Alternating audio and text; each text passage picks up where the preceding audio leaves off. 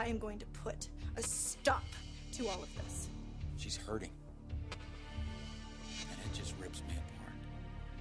If Aly is spiraling downward, Hope and Wyatt are going to have their hands full. You are officially fired from Forrester Creations, and you will not go near Hope again.